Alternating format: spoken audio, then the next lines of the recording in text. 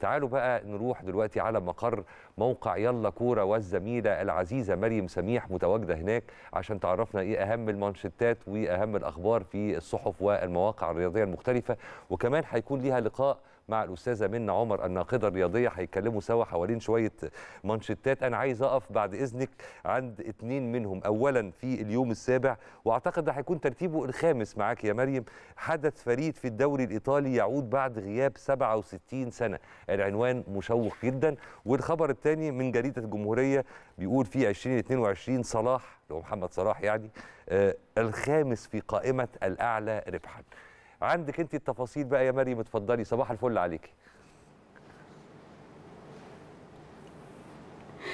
صباح الفل عليك يا كريم. بصبح على كل مشاهدي قناة الأهلي في كل مكان. يوم جديد وجولة صحفية جديدة من داخل موقع يلا كورة. وزي ما انت نوهت بالظبط يا كريم في البداية هيكون معانا طبعا لتحليل جميع العناوين اللي هتكون معانا النهارده في جولتنا الصحفية الناقدة الرياضية منى عمر الناقدة بموقع يلا كورة.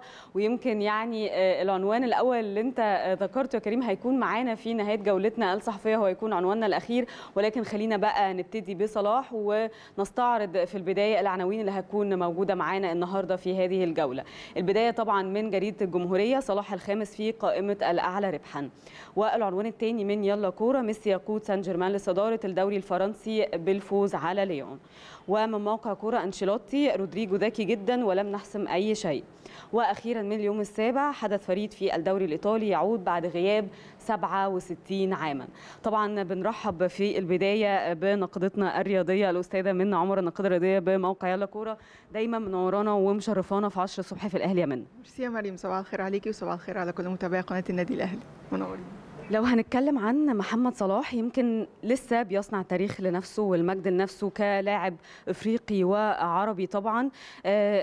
جريدة الجمهورية يمكن وضحت تقرير هام جدا وهو فكرة الأعلى ربحا سواء من الرواتب السنوية الخاصة باللعيبة وإيراداتهم كمان من الإعلانات في الموسم طبعا الجاري 2022 2023 ومحمد صلاح طبعا نجمنا النجم المصري نجم ليفربول والمنتخب المصري يمكن احتل المركز الخامس في في هذه القائمة يمكن ب 39.5 مليون دولار. يعني رأيك إيه؟ ويمكن صلاح هيحقق إيه كمان خلال الفترة المقبلة بعد تحقيق يعني كل هذه الإنجازات؟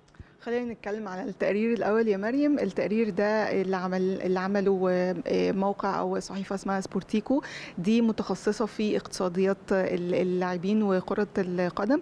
هي عملت تقرير أو عملت رصد لدخول اللاعبين في لاعبي كرة القدم في العالم يعني. وبناء يعني استندت على إيه في التقرير بتاعها ده؟ استندت على الدخل بتاع الراتب أو الدخل بتاع اللاعب أو الراتب بتاعه. استندت كمان على المكافآت على الإضافات اللي هي بيبقى منصوص عليها طبعا في العقد استندت على الإعلانات. لما نيجي نبص للقائمه اللي أعلنها الموقع اللي هو سبورتيكو هنلاقي إن في القائمه دي أول عشرة هنلاقي فيهم ثلاث لاعبين من باريس سان جيرمان. أول واحد طبعا كيليان امبابي 125 مليون دولار. طبعا ده الدخل السنوي. هنلاقي تاني لاعب كريستيانو رونالدو طبعا نجم مانشستر يونايتد 113 مليون دولار. بعد كده هنلاقي ليونيل ميسي بفرق شوية عن رونالدو 110 مليون دولار. بعد كده هنلاقي في المرتبة الرابعة هنلاقي نيمار 91 وبعد كده هنلاقي نجمنا المصري محمد صلاح 39 39.5 مليون دولار. اللي تلا كمان صلاح أو الخمسه اللي جم بعد كده ورا صلاح هنلاقي إيدن هازارد لاعب ريال مدريد هنلاقي أندري إنيستا هنلاقي رحيم ستيرلينج هنلاقي دي بروينا لاعب مانشستر سيتي طبعا وهنلاقي أنطوان جريزمان. لما نيجي نبص للقائمه هي يعني القائمه هي كلها حسابات أو هي كلها أموال. طبعا ما لهاش علاقة قوي بال ملهاش علاقة قوي بالموسم اللي بيقدمه اللاعب أو الأداء اللي بيقدمه اللاعب في خلال الموسم. طبعا إحنا لما نيجي نبص لموسم محمد صلاح السنة دي مش البداية اللي إحنا متعودين منها من محمد صلاح ولكن ولكن ما نقدرش نقول إن هي بداية سيئة عشان صلاح دايما عودنا على ال top صلاح دايما عودنا على الانبهارات.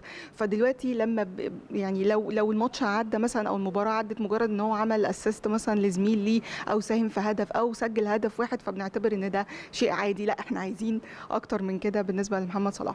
آه, آه, آه ممكن يكون صلاح بعيد دلوقتي شوية عن الجائزة المفضلة بالنسبة له أو السباق المفضل بالنسبة له هو سباق الحذاء ال- ال- الذهبي في بريمير ليج آه، لكن برضو ال gap مش كبيرة قوي آه، ما بينه وما بين آه، منافسيه زي طبعا إيرلينج هالاند لاعب مانشستر سيتي زي متروفيتش زي أكتر من لاعب في ال- الدوري هاري كين سون. ولكن الدوري لسه الدوري الإنجليزي لسه طويل لسه قدامه مشوار طويل. صلاح قادر جدا إن هو يرجع في يرجع في مستواه ويسجل أهداف كتير. عنده كمان هيستغل أكيد فترة الراحة بتاعت كأس العالم وأكيد هيقدر إن هو آه، يعيد حساباته ويرجع بمستواه المعهود بإذن الله. زي ما اتكلمنا عن تاريخ محمد صلاح برضو ميسي لسه قادر إن هو يصنع التاريخ رغم كل شيء ورغم كل الظروف. يمكن شفنا ميسي امبارح طبعا في آه، آه، مباراة آه، باريس سان جيرمان وليون يمكن هو كان السبب لأن هو صاحب الهدف الوحيد في المباراة. وطبعا يعني تسبب يمكن في آه، وجود فريقه في صدارة الدوري الفرنسي. شايفة ميسي رغم كل يعني يمكن السن اللي وصل ليه فكرة تنقله أو رحيله عن برشلونة ثم وجوده في باريس سان جيرمان ولسه قادر رغم كل ده برضه يصنع تاريخ شايفة إزاي؟ لسه قادر آه بس لو سألتي أي مشجع مش هقول مشجع برشلوني أو أو أو أو لنادي نادي سابق يعني لا هنقول آه، أي مشجع آه، في العالم لو سألتيه على ليونيل ميسي هيقول لك أنا مفتقد جدا آه، نسخة ميسي مع برشلونة. آه ميسي هناك مع باريس بيحاول أو بيقدم اداء جيد بس ده مش مش ده مش ده ميسي يعني مش ده اللي إحنا متعودين ميسي طبعا زي ما انت ما قلتي عامل ال- السن مهم جدا. آه، ولكن ال- الوضع في في باريس سان جيرمان غير ال- ال- الوضع في برشلونة تماما. الأمور متغيرة خالص. آه، لأول مرة كنا ما كانش حد يتخيل أصلا إن كان ممكن يجي في يوم من الأيام إن إحنا نسمع صفارات استهجان ضد ميسي أو ضد رونالدو. للأسف حصلت ضد ميسي من جماهير باريس السنة اللي فاتت. آه، والحقيقة برضو كان أداء ميسي أصلا السنة اللي فاتت مع باريس سان جيرمان كان عادي جدا أقل كمان من من العادي. ما كانش المنتظر أو ما كانش المتوقع من الجماهير ويمكن ده بالنسبة لهم ده كان رد الفعل خصوصا إن الفريق فيه نجوم رهيبة. يعني ال ال الإمكانيات ال الامكانيات اللعيبة اللي بيضمها باريس سان جيرمان مش قليلة خالص. ميسي نيمار آه، بنتكلم ده ده في الخط الهجوم بس ميسي نيمار امبابي آه، في في نجوم آه، تانيين في خط الوسط نجوم في الدفاع كيلور نافاس في في حراسة ال- المرمى دوناروما. فالفريق نفسه تقيل. فلما تلاقي النتائج بتاعته طبعا هم يعني طموحهم أو ال target اللي هم عايزين يوصلوا له طبعا هو دوري أبطال أوروبا وكالعادة ما, ما قدروش إن هم يحققوه السنة اللي فاتت وخرجوا من ريال مدريد مبكرا يعني.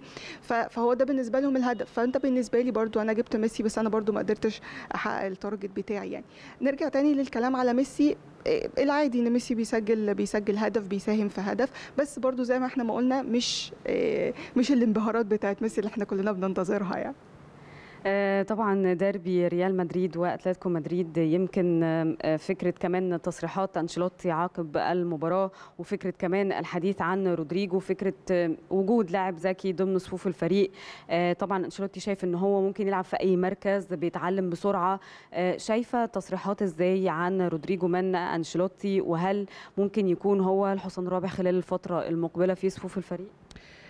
وضع ريال مدريد يعني لما تيجي تتكلمي عليه تلاقي الوضع العادي بتاع ريال مدريد إيه، وضع هادي جدا إيه، صفقات بتتم بهدوء جدا بيدعم الفريق على قد العناصر اللي هو محتاجها ما فيش حاجات ما شفناش حاجات مبهرة جدا يعني في ال- ال- الميركاتو. إيه، في النهاية آه، أنا بدخل مباراة أنا بكسب ال- ال- المباراة آه، من بداية الموسم ريال مدريد ما خسرش لحد دلوقتي أي مباراة ما تعادلش آه، في في ال- الدوري لعب تقريبا لعبوا سبع جولات هو كسب ال- السبعة المباراتين في دوري أبطال أوروبا برضو كسب المباراتين في دوري أبطال أوروبا. الوضع تحسيه بتاع ريال مدريد وضع هادي جدا. التوليفة اللي عملها أنشيلوتي آه، بيقدر إن هو يكسب بيها. آه ممكن يكون مثلا مش ال ال ال ما بنشوفش مثلا ال- المهارات ال- العالية ما بنشوفش ال ال عايزه أقول اللي هو إيه ال ال- ال- ال- البصمة بتاعت المدرب خلال ال- ال- المباراة يعني. لكن في النهاية أنا بحقق ال- اللي أنا عايزه. أنا بفوز بالمباراة. كسبت ال- الديربي 2-1 كان 2-0 أصلا. وبعد كده آه، ال- الجون جه في جون أتلتيكو مدريد يعني جه في الآخر. آه، ف يعني الوضع مستقر جدا جدا بالنسبة لريال مدريد. كالعادة يعني هو مش محتاجين مش محتاجين أي مش محتاجين أي دعم. اللي أنا بس عايزة أعلق عليه كانت تصريحات أنشيلوتي كانت غريبة شوية بخصوص فينيسيوس جونيور آه، والواقعه اللي تعرض لها أو الكلام اللي اتقال آه، اتوصف بيه آه، بخصوص رقصه الاحتفال اللي هو بيعملها وإن هي اتوصفت إن هي بلاش نقول اتوصفت بإيه بس يعني الناس كلها عرفت يعني بس اتوصفت بلفظ مش مش لطيف يعني. تصريحات أنشيلوتي كانت غريبة شوية. يعني لو هم لما اتسأل في المؤتمر الصحفي هل انت مثلا آه، يعني دعمت آه، فينيسيوس آه، حصل ما بينك وما بينه حوار مثلا بحيث إن هو يقدر يتعامل مع ال- التصريحات؟ فهو كان رده لا أنا مش والده أو مش أخوه أنا مجرد مدربه. آه okay أنت مجرد أنت أنت المدرب بتاعه بس أكيد المدرب بتاعك بيبقى ليك بيبقى ليه دور خصوصا لما يبقى فيه آه، تعبيرات فيها عنصرية أو أو اتهامات فيها عنصرية ممكن يكون لاعب ما يقدرش إن هو ي- يتعامل مع ده. فينيسيوس آه آه، لاعب آه، آه، ذكي قدر إن هو يتعامل مع الموقف. آه ما يأثرش فيه النادي دعموا. شفنا أكتر من من لاعب برازيليين في الدوريات ال- المختلفة قلدوا رقصه الاحتفال بتاعه كنوع من الدعم. لكن آه، ما يبقاش التصريح ده يطلع من من المدرب. أعتقد كان يعني التصريح ما كانش ذكي آه، بشكل كافي يعني. أخيرا بقى فكرة إن حدث يتكرر كل 67 عام يمكن دي بتبقى من النوادر في آه، الرياضة يعني العالمية. شفنا امبارح آه، حدث غريب فكرة خسارة آه، أربع فرق في يوم واحد سواء آه، إنتر ميلان والميلان واليوفي وروما. أكيد بالنسبة لك كان حاجة آه، مثيرة وأكيد بالنسبة لكل آه، متابعي كرة القدم كان حدث وزي ما إحنا قلنا بيتكرر كل فين وفين وفعلا هو ده ما حصلش من 67 عام. هو حدث فريد جدا يا مريم فعلا زي ما انت ما قلتي بس ال- الغريب أكتر وضع يوفنتوس. وضع يوفنتوس في الدوري سواء ال season اللي فات سواء ال season ده هو اللي مشقلب شكل الدوري بال بال بالمنظر ده. إحنا ما اعتدناش على الشكل ده. لما تيجي تبصي للجدول دلوقتي هتلاقي هو ناب- نابولي واتلانتا هم اللي بيتقاسموا الصداره هتلاقي يوفنتوس تقريبا في المركز السابع أو المركز الثامن يوفي خلال ال ال السبع جولات أو الست جولات اللي لعبها في الدوري الإيطالي ما كسبش غير جولتين. فانت بتتكلمي في, في, الفرق ما بينه وما بين ال- ال- المتصدر مثلا يعني هتلاقي ال gap كبيرة جدا. آه، يوفنتوس مع مع أليجري آه، آه، وضع مختلف آه، يعني بشكل غريب. آه، جماهير يوفنتوس حتى ما اعتقدش ان هي ممكن تستمر آه، وتستحمل ده كتير. شفنا هاشتاج امبارح بعد بعد الخسارة من الصاعد للدوري الايطالي حديثا اللي هو منذ خسروا طبعا 1-0 آه، هاشتاج طبعا طلع أليجري out بالمناسبة برضو عشان إحنا نسينا نقول ال- ال- النتائج المباريات إحنا روما خسر من أتلانتا على أرضه وسط جمهوره 1-0 آه، انتر ميلان خسر من أودينيزي 3-1 آم، آه، ميلان خسر آه، آه، من نابولي 2-1 آه، فنرجع تاني بقى نتكلم على يوفي. فزي ما بقول لك الوضع يوفنتوس مع مع أليجري مش أحسن حاجة خالص. آه، هو كمان تصريحاته غريبة جدا. يعني تصريحاته إلى حد ما مستفزة. يعني هو طلع مرة آه، عقب مباراة من المباريات واتكلم قال إنه آه، هو بالنسبة له الكوره الجذابة اللي هو ما بيكسبش بيها هي دي بالنسبة له مش ممتعة. طب إحنا ولا في كوره جذابة ولا في مكسب. فاللي هو إيه الوضع يعني؟ آه، بس فأعتقد أعتقد لو استمرت النتائج على هذا ال- ال- الحال أعتقد ممكن نشوف إقالة لأليجري قبل نهاية ال- ال season يعني. منة أنا بشكرك جدا طبعا دايما بتنورينا وتشرفينا في فقرنا فقرتنا الصحفية في 10 الصبح في الأهلي وأكيد بنشكرك يعني على يعني التحليل التفصيلي لكل العناوين اللي كانت معانا النهارده آه، في جميع عناويننا الصادرة صباح اليوم الاثنين. ميرسي ليك يا مريم نورتي. ميرسي. يعني يا كريم يمكن زي ما انت تابعت معانا وكل مشاهدي 10 الصبح في الأهلي تابعوا معانا. ده كان تحليل طبعا الناقده الرياضيه من عمر لكل العناوين اللي كانت معانا النهار النهارده والصادرة صباح اليوم. الاثنين في جولتنا الصحفية في 10 الصبح في الأهلي. بشكرك جدا. العوده ليك مرة أخرى. ده أنا اللي بشكرك. جزيل الشكر على هذه التغطية الصحفية المتميزة كالعادة. وطبعا الشكر موصول لضيفتك العزيزة الأستاذة منى عمر.